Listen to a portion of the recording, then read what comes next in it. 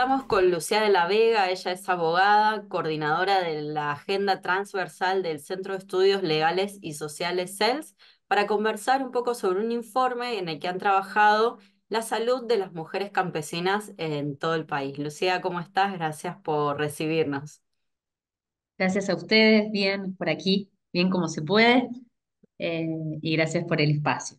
Muy bien, con, mucho trabajo. Bueno, contanos sobre un poco cómo surge la idea de hacer el informe, eh, por qué realizaron este trabajo, cuáles fueron sus objetivos, trabajaron en las provincias de Santiago del Estero, Mendoza, Misiones, Jujuy, eh, y también en la ciudad, eh, en la provincia, perdón, de Buenos Aires, y queríamos saber un poco, este, bueno, el, esto, el objetivo de este informe.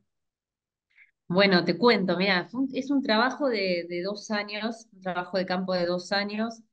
Lo pensamos, bueno, tiempo antes, y la idea era poder focalizarnos en el acceso a la interrupción voluntaria del embarazo y a los derechos sexuales y reproductivos en comunidades campesinas. Para indagar un poco más allá, veíamos que la, que la mirada que estaba prioritaria era la de los, los sectores más urbanos, las mujeres y las personas con capacidad de gestar de, de, lo que es eh, las ciudades y dijimos, bueno, a ver, ¿qué pasa acá? ¿Qué pasa?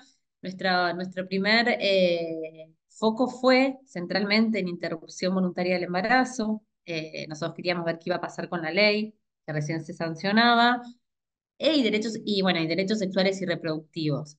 Luego, en, el, en, el, en ese recorrido y en empezar a, a, juntarnos con las organizaciones que tenían, ya venían con mucho trabajo, mucha trayectoria en las distintas provincias, nos dimos cuenta que no era una cuestión que era solo derechos sexuales y reproductivos.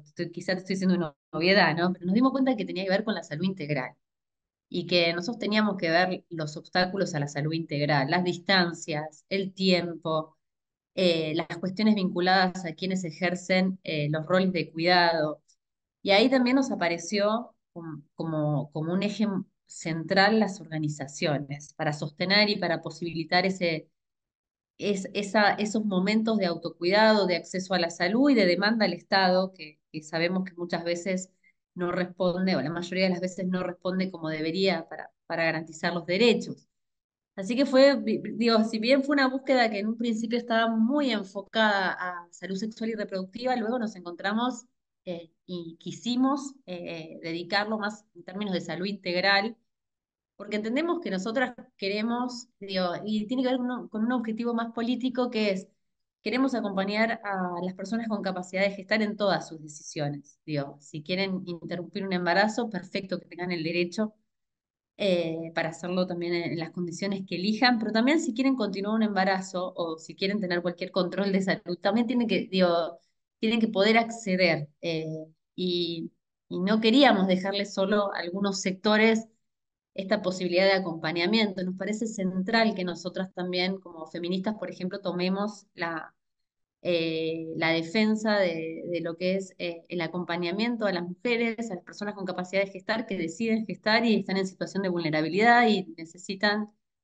controles, acceso a la salud, eh, garantías también en términos de, cuidados comunitarios y estatales. Veía esto en el informe, ¿no? Que vos contabas, no, no solo lo del primer objetivo, que capaz de la introducción no está, sino eh, hablar de salud en términos integrales. ¿Y cuáles son los obstáculos que mujeres de todas estas provincias campesinas se encuentran para poder acceder a la salud?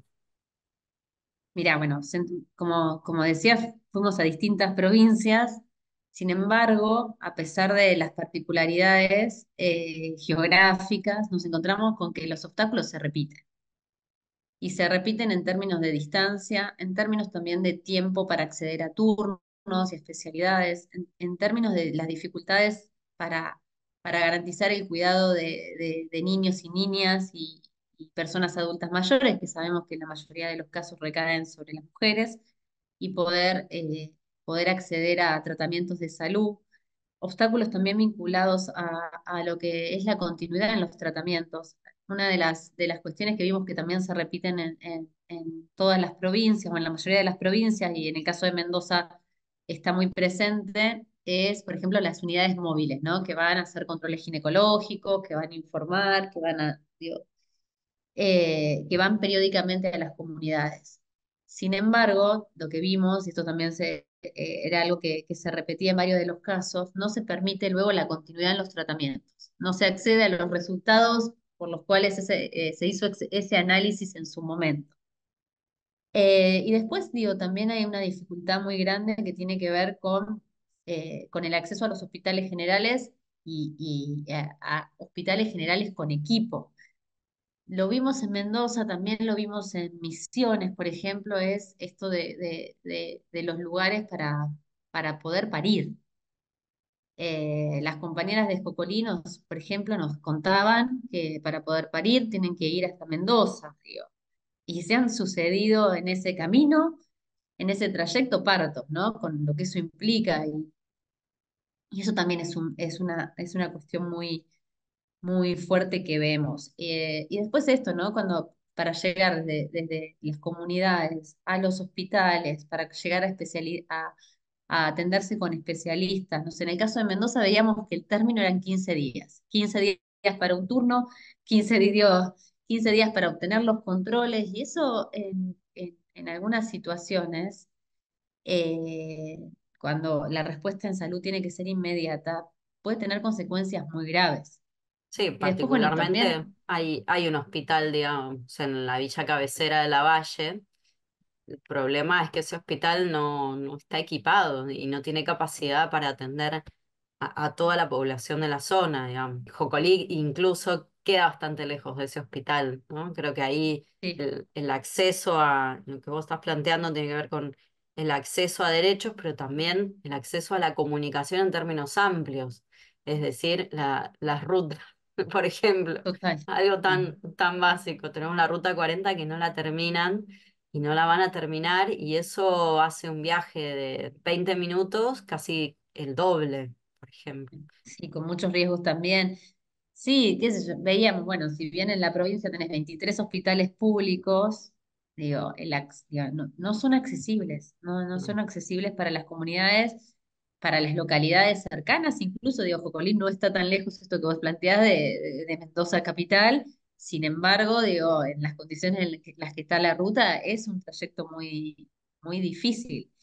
Eh, ahí también lo que nos- nosotros hicimos varios encuentros eh, con compañeras de, no solo de Jolí, sino de, de- de otros lugares de, de la provincia, y, y se repetía esto, ¿no? Como la- las enormes distancias y la falta de equipamiento y la falta de profesionales eh, eh, con- eh, especializados, ¿no? Como ahí también reforzar la llegada de, de especialistas, inclusive a los, a los centros de de atención primaria de la salud o, o, digo, en términos inclusive de, vuelvo a la comunicación, que es lo que vos traes, digo, comunicación es, es central también para el seguimiento de los tratamientos.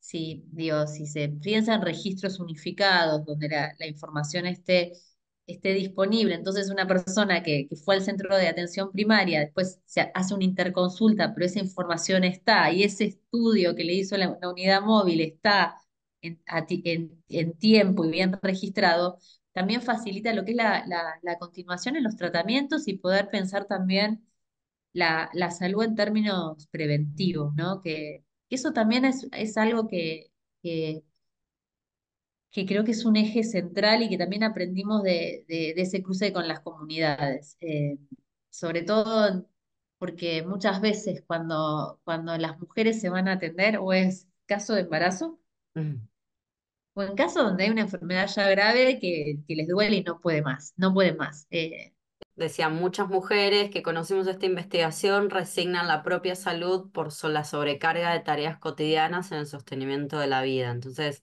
quería preguntarles si en esta investigación habían tenido algunas respuestas de, por qué esa elección. Eso es lo- lo vemos como muy, muy, muy agudizado, por decirlo de alguna forma. Las compañeras nos contaban, digo, esto, bueno, yo la verdad que también en lo que es la vida cotidiana y arreglarse en el cuidado de los niños, en el trabajo, eh, eh, en las múltiples, digo, en lo que es las múltiples tareas que, que, que tenemos a diario y que en las zonas rurales se hacen muchas veces en soledad. Se prioriza quizá la atención sí de los niños y de las personas adultas mayores, pero se, se relega la, el autocuidado, ¿no? Y la propia atención en la salud de, de ellas. Y eso parecía. Como yo voy cuando ya no puedo más. Y ahí el rol de las organizaciones, no solo porque, bueno, no sé, pienso en el MNCI, eh, que tienen, por ejemplo, la, eh, el, el, jardín y que, y, que organizan ahí también, digo, todo lo que tiene que ver con trabajo, con cuidados comunitarios, pero también son las organizaciones las que trabajan en abordar eh, esa necesidad de autocuidado. Y dicen, che, tenés que ir, dale, dale. Inclusive le consiguen los turnos, hacen las gestiones para, para, para llevarla quizá la compañera, para quedarse con los pibes cuando la compañera, cuando, cuando, la, cuando tiene que ir a, a hacer los controles para la advertencia también de que es importante que ella se cuide, ¿no? Y para, para generar esa conciencia del autocuidado y, bueno, que después es necesario, eh, vemos eso, que, que, que, el acceso a la salud depende también de quién garantice los cuidados, y sobre todo para, para, para las mujeres, ¿no? Quisiera que me cuentes alguna otra experiencia de organizaciones que hacen talleres, ¿no? No solo de, de, para acceder a la salud, sino de prevención y, y si han podido participar de alguno y cómo ha sido. Sí, bueno, por ejemplo, con el MOCASE en Santiago del Estero también ahí ellos tienen, ellas y ellos tienen un trabajo muy interesante con las promotoras de salud. Y ahí veíamos que el rol que, que la organización cumple eh, en términos de conexión con el Estado para la demanda y para garantizar en tiempo y forma el acceso a tratamientos, el acceso a medicaciones es central. Y sí, la, y en las experiencias también de los talleres, muchas están focalizados en reconocer qué nos duele, ¿no? A ver, qué nos duele, qué nos está pasando. Eh, y ubicarnos y, y, y, y trabajar en, en, esa autoconciencia y en esa necesidad de, de, y hasta como parte de la organización, ¿no? De, de acceder, de, de cuidarnos, ¿no? De, de, querernos y de cuidarnos, ¿no? Lo que pasa es que también en el cotidiano, donde muchas veces está el trabajo, está la alimentación, está el cuidado de los niños, bueno, eso eh, eh, eh, en, la, en, lo que es eh, la vida cotidiana parece relegado. Eso también lo, lo veíamos muy fuerte, ¿no? Como eh, una, una señora se nos, se nos acercó en misiones y decía, bueno, aunque estés tapada de trabajo, tomate un mate y tomate, una, tomate unos matecitos y date una hora para vos. Bueno, y ese registro, ¿no? De cuán, qué, qué, qué espacios nos damos. Eh, así que bueno, eso me parece como central y lo, y lo aprendimos también en, en esas juntadas en, en, los talleres. Particularmente me quedan dos preguntas. Una tiene que ver con un capítulo que ustedes trabajan en el informe, que después vamos a compartir incluso el link porque está, es de público acceso. Eh, que tiene que ver con agrotóxicos, ¿no? Trabajaron con mujeres campesinas, bueno, cómo se dan las diferentes provincias la problemática del el uso y el manejo de agrotóxicos en relación a la salud de las mujeres. Eh, en el caso de Mendoza, nos planteaban que se sigue usando, por ejemplo, el glifosato, ¿no? Y si bien, si bien hay regulaciones, eh, no son suficientes o no se aplican lo suficiente sí, la, la, reiteración de situaciones, eh, por ejemplo, de abortos espontáneos o afectaciones a la salud, a la, piel o a las vías respiratorias, lo, se, se, repetían en, lo, en, los testimonios. No encontramos, eh, estuvimos atrás, sabemos que Mendoza se investigó, se está investigando de hecho, pero no, no encontramos la conexión directa, por lo menos estudios donde se focalizara directamente. Eh, pero bueno, eso también en la limitación de, de, nuestro campo de investigación. Pero sí, esto, las compañeras nos decían esto, situaciones de, donde se sigue utilizando y donde la afectación, entre, desde, lo más inmediato, la, descompost, la descompostura o las cuestiones eh, eh, en la piel a reiterados abortos espontáneos que que pueden tener una conexión, eh, fue, apareció como corriente en varias de las provincias. Bueno, en Misiones también, eh, en Jujuy no, bueno, pero porque tiene que ver con, también con que con, con, la, con, con el trabajo que llevan justo las, las comunidades con las que estuvimos, pero eh, en la zona de Abasto eh, el cordón frutihortícola de, de La Plata también apareció esta problemática, así que sí, lo, lo- vimos y fue un tema, con el que nos quedamos para poder investigar eh, y profundizar. De hecho, bueno, estamos justo eh, atrás de, de- de un caso donde una, una joven perdió un embarazo y, y abrió una conexión con, con el uso de agrotóxicos. Eh, Y para ir terminando, vemos ustedes hacen un capítulo eh, en donde, bueno, recomiendan este, algunas acciones en términos de políticas públicas para que se puedan hacer desde organismos de Estado, justo en este contexto particular de recorte presupuestario, de cierre del Ministerio de las Mujeres, de achicamiento de- del Ministerio de Salud. Es complicado, pero igual si querés contarnos algunas líneas de acción para que, bueno, para que todas sepamos qué otras cosas se pueden hacer y que se pueden seguir exigiendo. Sí, esto es clave. Cuando nosotros lo pensamos, hace más de dos años atrás, nosotros dijimos, bueno, es, es importante relevar eh, los obstáculos específicos en el acceso, en el acceso a la salud de, de las mujeres campesinas y poder pensarnos un plan de acción, eh, establecer una agenda de cara, sobre todo, pensábamos eh, con relación al Estado Nacional. Eh, trabajar con las provincias, pero centralmente, digo, pensar eh, en el Estado Nacional, en ese rol de rectoría de la política sanitaria que tiene, que pudiera establecer algunos lineamientos claves para trabajar en esos obstáculos, ¿no? Para facilitar el acceso a la salud, ¿no? Eso fue como también nuestro objetivo político, luego cambió, bueno, cambió en parte, digo, entendemos hoy, digo, que, con, las provincias, con algunas provincias tenemos como más, facilidad de llevarles estas demandas, igual, digo, lo vamos a hacer también con el Estado, con el Estado Nacional. Hoy la situación es que el Estado Nacional se ha corrido, digo, se ha corrido, por ejemplo, en lo que tiene que ver con la entrega de insumos para, para, para la salud, digo, de- desde el remediar hasta, digo, lo que es todo lo que es eh, salud sexual y reproductiva. Hoy nos encontramos con muchas dificultades en términos de insumos y ahí nos encontramos también con las provincias haciendo malabares, ¿no? Para, para cubrir el acceso a medicamentos que el Estado garantizaba el cierre, por ejemplo, de la ANLAP, que, que es la Agencia Nacional de Laboratorios Públicos, que lo que hacía era propiciar el desarrollo de determinados medicamentos, que son medicamentos esenciales, que muchas veces los laboratorios privados no hacen porque no tienen la ganancia que, quieren y sin embargo son estratégicos para la salud de la población, es un punto, ¿no? Eh, también el corrimiento en lo que es eh, el, vaciamiento del plan ENIA. Eso es un, es un, también es una... eh, el plan ENIA eh, tenía tiene resultados muy buenos. Ahora bajaron la página, pero se pueden conseguir, hay informes todavía de todo lo que se hizo.